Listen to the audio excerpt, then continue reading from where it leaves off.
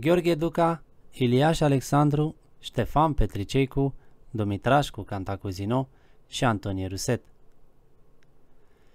Gheorghe Duca era de origine grec, din Rumelia. A venit în țară de copil, intrând mai întâi la Dugheană, la băgerie, apoi ajutându-l împrejurarea s-a lipit pe lângă casa lui Vasile Vodălupu. Cu vremea a ajuns și la dregătorii, înaintând treptat până la aceea de velvistiernic.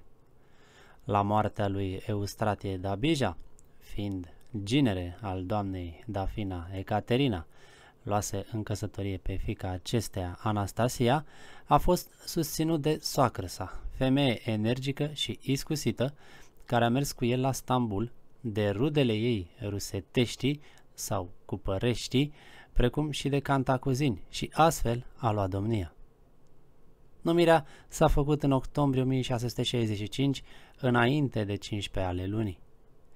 Candidat era și Iliaș Alexandru, fiul fostului voievod Alexandru Iliaș. Deși protejat de ambasadorii Angliei și Germaniei, sau poate tocmai de aceea n-a izbutit însă. Venind în Iași, noul domn le era tuturor cu bine, cât nu se plângea nimeni nici de o strâmbătate. Stăpânirea lui ține însă foarte puțin, vreo șapte luni, isprăvind din cauza unei neînțelegeri, fără ca Duca să fie vinovat. Vizirul îi dăduse însărcinarea anume ca să cerceteze ce gânduri are hanul tătarilor, despre care se spunea că ar vrea să se închine moscoviților. Duca scrie atunci acestuia o scrisoare, dându-i a înțelege că ar fi și el dispus să facă o mișcare. Scrisoarea însă e interceptată de pașa de la Vozia, Oceacov, la gura Niprului, care era dușman lui Duca și trimisă direct sultanului. Acesta, în lipsa vizirului, plecat la oaste, neștiind cele cuvenite și crezând că e vorba de o intenție reală de răscoală, îl mazilește pe Duca și numește în locul lui pe Iliaș Alexandru, 12 mai 1666. Pe urmă s-au lămurit lucrurile, dar înlocuirea se consumase. Neculce povestește că Iliaș îngropa tocmai pe tată său când a sosit fără veste. Omul împărătesc să-l ia spre a fi îmbrăcat cu caftan domnesc. Din această pricină, adaugă cronicarul, foarte rău se speriase că nu știa la ce-l duce. Fiind sărac, a trebuit să se împrumute, cu 50% dobândă, ne spune un raport contemporan, de la greci, evrei și turci spre a plăti cei 200.000 de reali care i s-au cerut, în afară de darurile cuvenite meghistanilor. Crescut la Stambul, Iliaș nu știa limba țării. De aceea, la divan avea nevoie de tălmaci, ca și Gaspar Grațiani. În asemenea condiții, judecățile mergeau însă mai anevoios, iar unele herisoave s-au dat chiar greșit. Pentru a putea plăti datoriile făcute la numire, a obligat pe unii boieri, mai ales din cei apropiați lui Gheorghe Duca, să dea bani, sub formă de împrumută. De fapt, aceste sume nu se mai restituiau. Astfel, față de cei nevoiași, era milostiv. Cronica povestește că atunci când unul din aceștia, părât în divan pentru vreo datorie, o recunoștea, dar cerea să fie îngăduit cu plata, fiind sărman, domnul scotea de la el din pungă și achita pe creditor. Care domn, așa de milostiv și de îndurător ca acesta, încheie cronica, n-au mai venit altul la Moldova și în zilele lui au fost mare bilșug și liniște. Soția sa avea aceeași fire. Neîmplinind încă termenul de trei ani, i-a sosit mazilia, provocată foarte probabil de stăruințele lui Gheorghe Duca, doritor de a-și relua scaunul. Ultimul act, dat de Iliaș, e din 8 18 noiembrie 1668. În cursul aceleiași luni, el pleacă la Stambul, unde, după puțin timp, moare. Iar alții citim în aceeași cronică, spun cum moartea lui n-au fost curată, ci să-l fie otrăvit doctorii, cum învățătura ducă-i vodă. Cât adevăr e în această versiune nu putem ști. În locul lui Iliaș e numit din nou Gheorghe Duca. El vine în Iași, înconjurat de o sumă de greci, rude și cunoscuți și, spre deosebire de prima domnie, începe să se poarte mai aspru. Îndrăgătorii numește pe cei din jurul său, dările le sporește. Totuși, în primii trei ani, țara, plină de oameni și cu hrană și cu agonisită bună, nu reacționează. În decembrie 1671 însă, în ziua de 9, izbucnește o mișcare a orheienilor, lăpujnenilor și sorocenilor, în frunte cu Mihal Hâncul, fost mare serdar, apostol Durac, fost mare medelnicer și Constantin, fost clucer. La aceștia s-au adăugat mai târziu ca simpatizanți și Ștefan Hăjdău, pârcălabul de Hotin, cu frații săi, apoi Grigore Hăbășescu, Prodan Drăgușescu și alții. În genere însă, mari boieri rămân lângă Duca. Răsculații, în număr de câteva mii, vin asupra Iașului. Domnul trimite împotriva lor ceva oaste care, întâmpinându-i pe câmpia Ciricului, în preajma capitalei, nu-i poate opri și se retrage. Iar Hâncul și Durac au intrat în târg și au jăcuit casele negustorilor și au unurat din boieri. Grecii care pot fi priși sau uciși. Apoi răsculații, printr-o delegație de 12 oameni de țară, trimit vorbă lui Duca, închis în curtea domnească să părăsească scaunul, deoarece nu mai poate suferi dările cele grele și nevoile ce aveau de către dânsul, că au sărăciți și n-au rămas nemică în casele lor și au stricat obiceiurile cele vechi a pământului și nu mai este cu putință să trăiască cu dânsul. Duca răspunde cu semeție, la care delegația adaugă că de nu va ieși de bună voia sa, va ieși și fără de voia sa.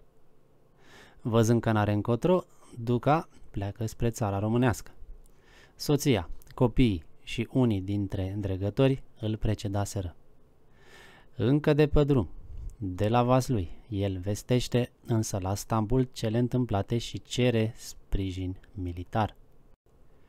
Sultanul îl acordă, însărcinând pe Halil Pașa, serascherul sau comandantul armatei de la Babadag și pe aga tătarilor din Buceac să-l ducă la Iași.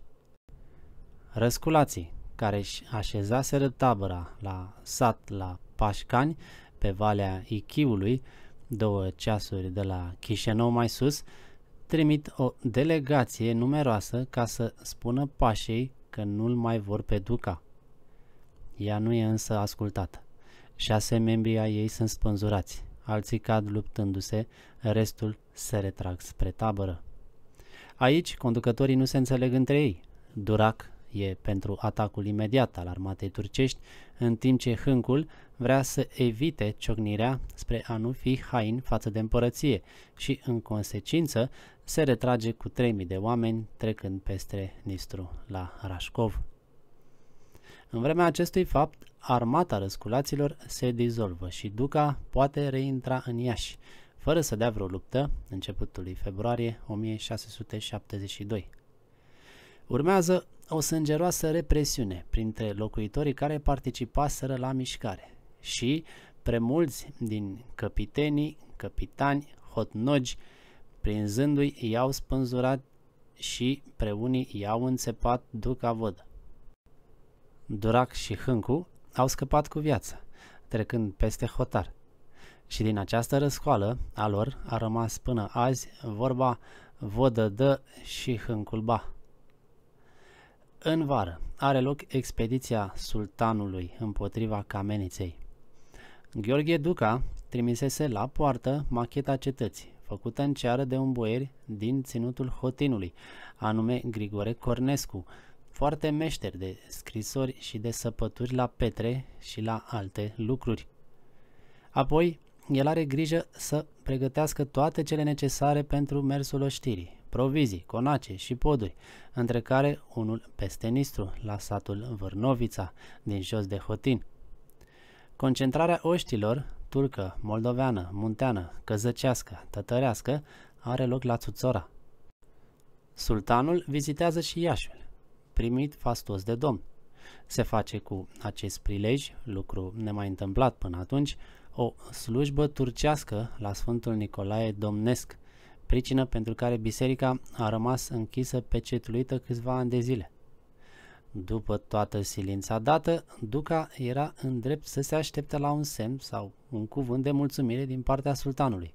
Când colo, îndată după trecerea podului peste Nistru, acesta dădu ordin să-l ridice și să-l închidă, mazilindu-l.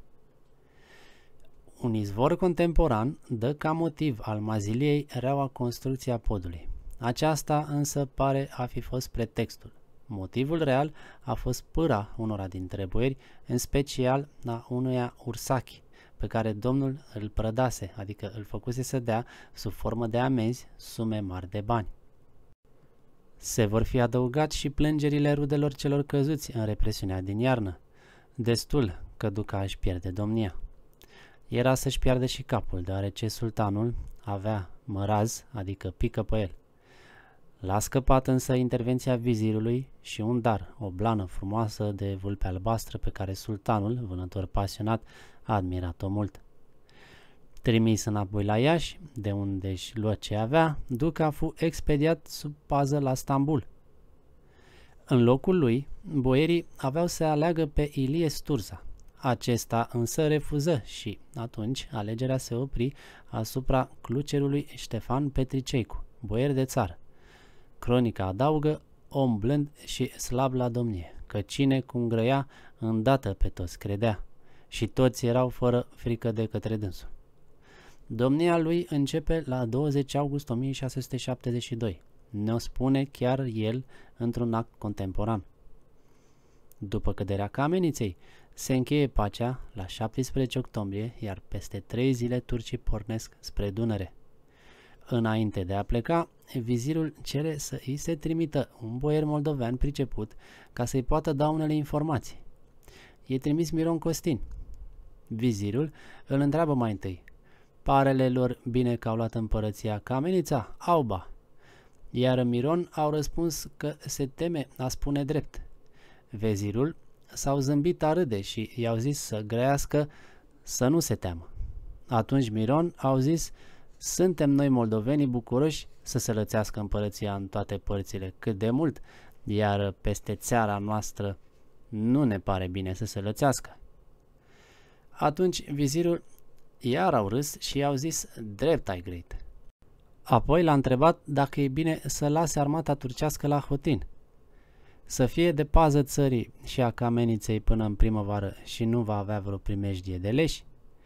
Miron, temându-se să nu facă obicei și turcii să se așeze prea mult timp, a spus că e mai bine să se retragă oastea ceea ce s-a și făcut, rămânând grija cameniței și a podului de peste Nistru în seama lui Petriceicu.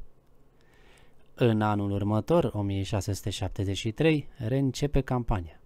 De data aceasta însă, soarta armelor e defavorabilă turcilor. Una din pricini e și înțelegerea în ascuns a domnilor noștri, atât a lui Grigore Ghica din Muntenia, cât și a lui Ștefan Petriceicu din Moldova, cu polonii. Aceștia, conduși de hadmanul Ioan Sobieski, viitorul rege, reportează o strălucită biruință, 10-11 noiembrie 1673. 11.000, după neculce 18.000 de turci sunt uciși, 24 de tunuri. Toate bagajele și o sumă enormă de bani cad în mâinile învingătorilor. Petriceicu se aștepta ca polonii să exploateze victoria și să treacă peste Dunăre, aceștia însă, preocupați de alegerea unui nou rege, părăsesc Moldova, lăsând numai un corp redus de oaste. Boierii văzând aceasta și ținând seamă de faptul că Grigore Ghica, vinovat fiind, se dusese totuși înapoi la turci, părăsesc și ei pe domn. Între timp, sosindu-i veste despre hainia lui Petriceicu, vizirul numește în locul lui chiar pe Capuchehaia trădătorului. Pe Dumitrașco, Cantacuzino. Acesta era nepot de frate lui Constantin Cantacuzino Postelnicul. Ocupase, mai înainte, dregătoria de mare vistier în țara românească. Apoi, fiind în dușmănie cu unchii său, trecuse în Moldova.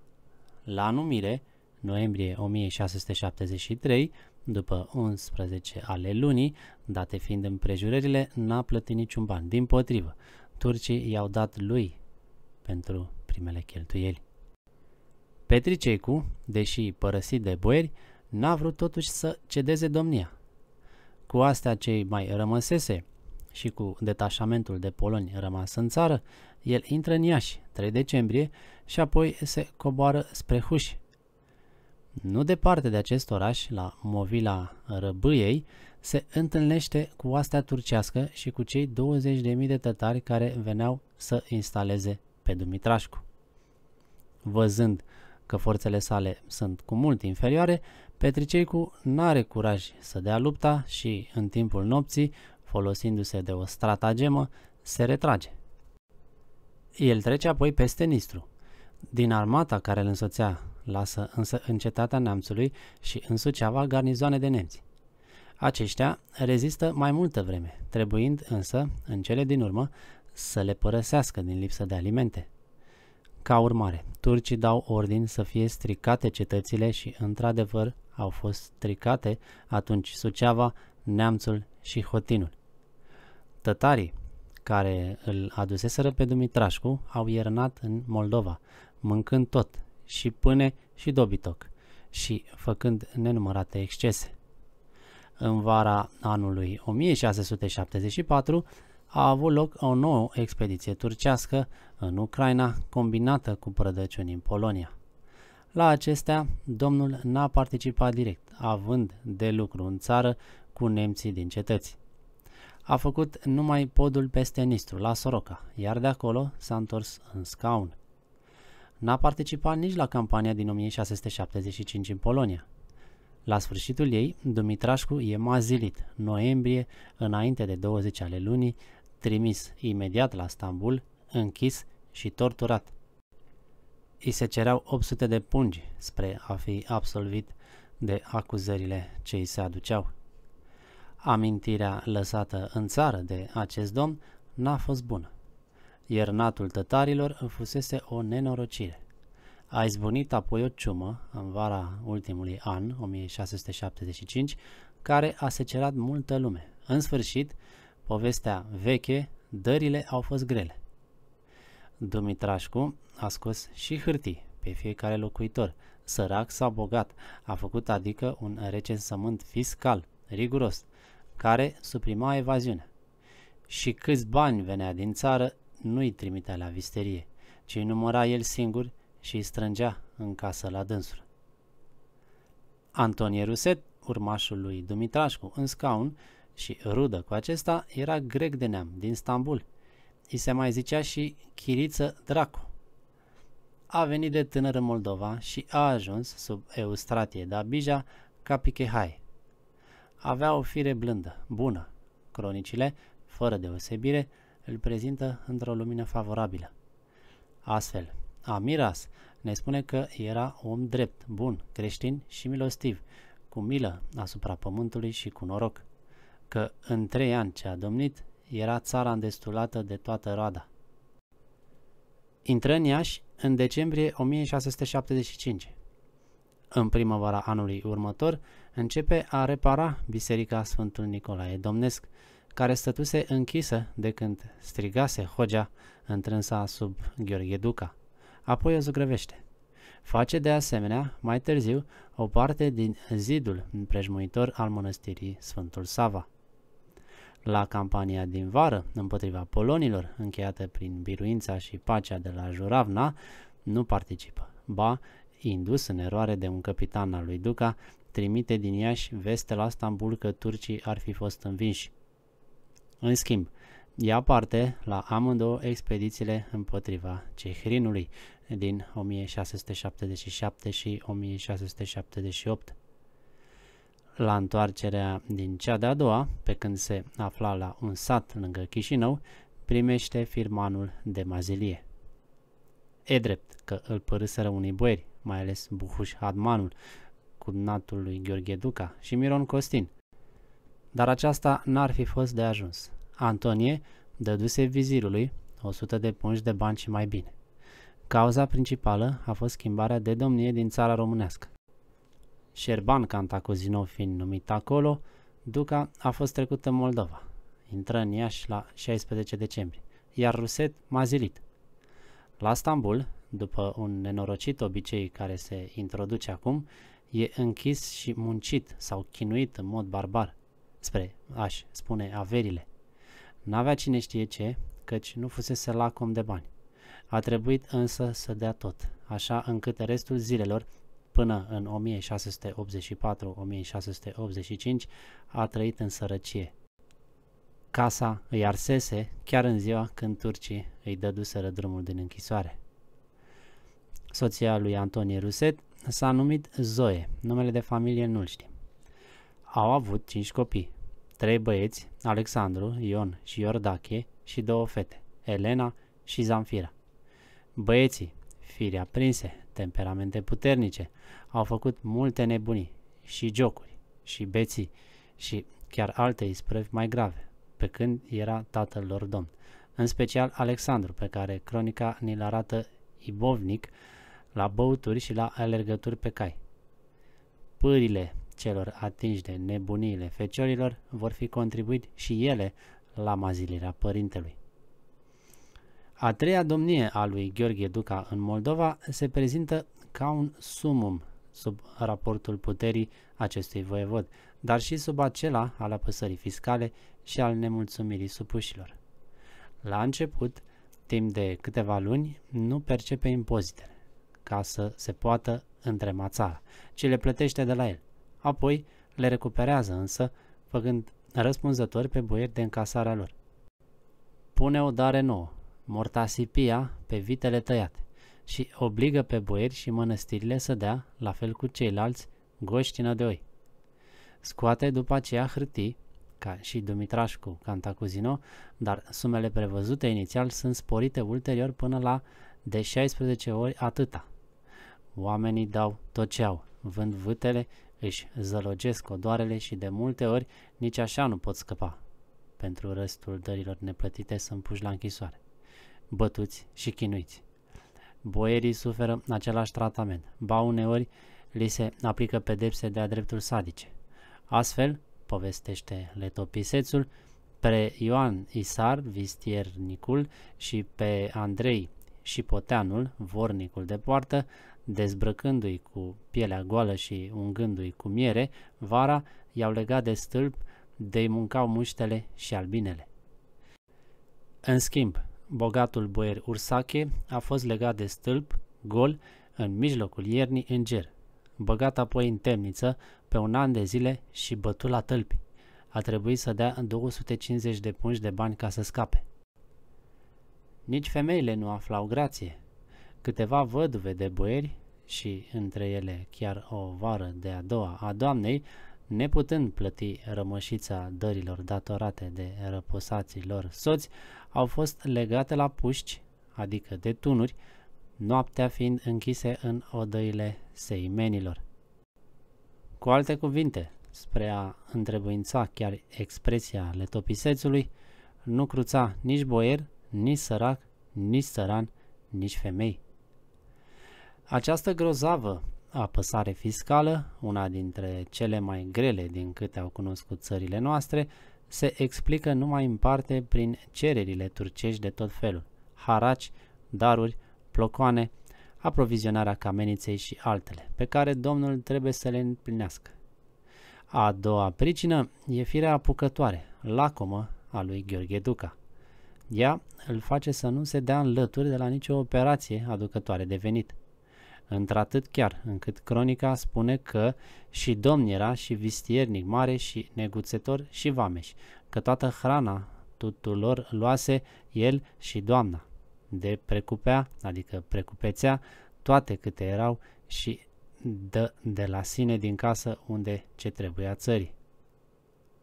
În sfârșit, trebuie să se țină seama și de dorința sa de fast, de strălucire și pompă, depășind posibilitățile normale ale domniei. Curtea lui, masa lui, cheltuiala lui, ca un craiu ținea, ne spune letopisețul. Și într-adevăr așa a fost, mai ales după ce ajunge să stăpânească și Ucraina. Din cauza regimului fiscal intolerabil și a vexacțiunilor la care erau supuși câțiva boieri, încearcă, în al doilea an de domnie, să ridice pe orheieni, pe lăpușneni și soroceni asupra lui Duca.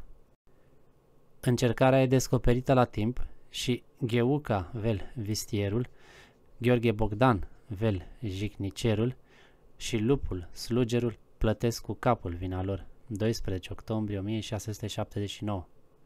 O sumă de boieri pribegesc în Polonia, alții, mai târziu, în țara românească. Pe lângă acest aspect negativ, domnia lui Duca a avut însă și un altul pozitiv. Prin talentul său diplomatic, făcând să se încheie pacea de la Radzin între ruși și turci, 11 februarie 1681, prin încrederea pe care o inspira și unora și altora, el capătă, după pacea amintită, hătmănia Ucrainei.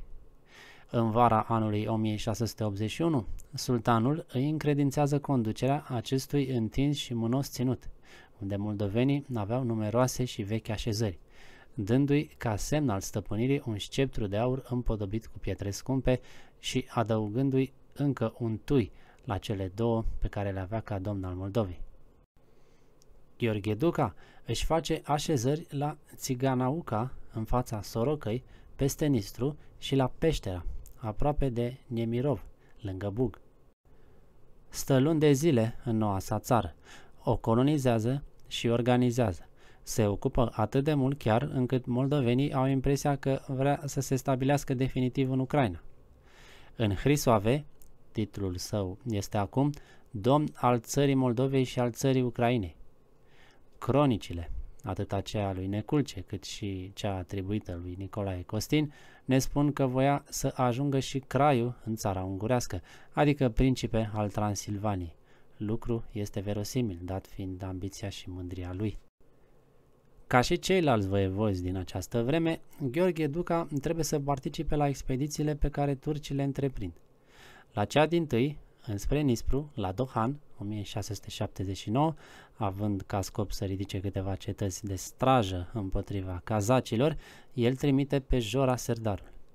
La cea de-a doua însă, marea expediție din 1683 împotriva Vienei, merge el însuși în fruntea unei oști de câteva mii de oameni. În timpul asediului, găsește mijlocul să fie util și nemților, trimițându-le vești și conducându-le curierii, fără însă a se compromite în ochii turcilor. După înfrângere, se retrage împreună cu vizirul Kara Mustafa până la Belgrad, iar de aici, prin Ardeal, trece în Moldova, pe la Uituz, oprindu-se în satul Domnești, Putna, moșia soacrei sale, decembrie 1683. Între timp, însă, se produce năvălirea dinspre miază noapte a lui Petricei cu vodă, care urmărea nu numai să-și rea tronul, dar și să recucerească în cadrul unei acțiuni mai mari a creștinilor grupați în frunte cu polonii în Liga Sfântă, cetățile de la Dunăre, Mare și Nistru, împreună cu raialele lor. Scrisorile trimise cu acest prilej băierilor de țară spre a-i atrage de partea sa precizează țelul urmărit să fărâmăm păgânul, să ne răscumpărăm pământul nostru care de întrânsul ne înstrăineaseră păgânii. Suceava mai întâi, apoi Iașul, 19 decembrie 1683, sunt ocupate. Odată cu Petriceicu și spre a-i da ajutor, năvălesc pe la Soroca și cazacii sub Hadmanul Kunitski.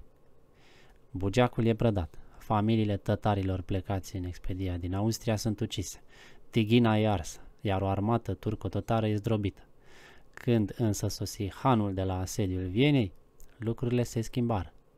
Cazacii și moldovenii încep să se retragă cu tabăra legată și, la gura lărgii, ei se împrăștie. Expediția lui Petriceicu se încheie fără să fi atins scopurile ce propusese. El însuși părăsește țara prin Cernăuți în martie 1684. Nici Duca însă nu poate să-și rea scaunul, deoarece un detașament sau, cum se spune atunci, un podghiaz de 500 de leși sub comanda capitanului Bainski, o rudă prin alianță a lui Petriceicu, îl face prizonier la Domnești, 4 ianuarie 1684 și îl duce în Polonia. Pe drum, pe care l-a străbătut sub ocări și sudălmi, într-o sanie cu doi cai și cu hamuri de tei, ajungând spre Suceava la un sat, povestește Neculce, au poftit putințel lapte să mănânce, iar femeia gazda i-au răspuns, N-avem lapte să-ți dăm, că au mâncat duca vodă vacile din țeară, mânca la viermii iadului cine adormiți. Că nu știa femeia aceea că este el singur duca vodă, iar duca vodă, dacă a auzit așa, au început a supinare și a plângere cu amar. În Polonia a mai trăit un an și ceva. Spera să scape, deoarece soția sa trimisese prețul răscumpărării, 180 de pungi. Banii însă fură opriți, pe drum, în Ardeal. Când a auzit de aceasta, Duca a avut un atac de apoplexie și, peste o săptămână, muri. 10 aprilie 1685 la Liov. Gheorghe Duca a fost căsătorit cu doamna Anastasia. Au avut trei băieți, Constantin, care a ajuns domn în două rânduri al Moldovei, Matei și Ștefan, și șase fete, Catrina, Ileana, soția lui Nicolae Costin, Sanda, Maria, Safta și Anastasia. După moartea soțului ei, doamna Anastasia s-a remăritat la Stambul cu un grec, Libirache, un aventurier, care i-a luat bruma de avere ce mai scăpase și apoi a părăsit-o. La 1700 era încă în viață. Duca e ctitorul mănăstirii Cetățuia, lângă Iași, începută în 1669 în a doua domnie. Ea era gata în toamna lui 1671. E de asemenea ctitorul mănăstirii Sfântului Ioan Zlataust, gură de aur din Iași, ridicată în locul unei biserici mici a lui Ștefan Tomșa. Pisania are data decembrie 1682, deci a treia domnie și menționează, în afară de perechea domnească, și pe fiul Constantin cu soția lui Maria, fica lui Brâncoveanu. Tot Duca a refăcut biserica cea albă de lângă FRD din Iași și a isprăvit zugăveala bisericii Sfântul Nicolae Domnesc. Doamna Anastasia e ctitoră la Agapia. Ei îi se datorează casele și beciul mănăstirii. După prinderea lui Duca, o parte dintre boieri cer ca domn pe Constantin Cantemir, un bătrân și viteaz ostaș. E numit însă de turci Dumitrașcu Cantacuzino. El primește caftanul la Babadag, la 8 februarie 1684, iar în martie intră în Iași. Petricecu retrăgându-se în Polonia. Noul domn găsește în țară o foamete cumplită. Oamenii ajunseseră să-și dea pentru câțiva saci de mălai copiii robi la tătari. S-au înregistrat chiar și cazuri de canibalism. Presiunea fiscală continuă. Excesele împotriva unora dintre boieri, de asemenea.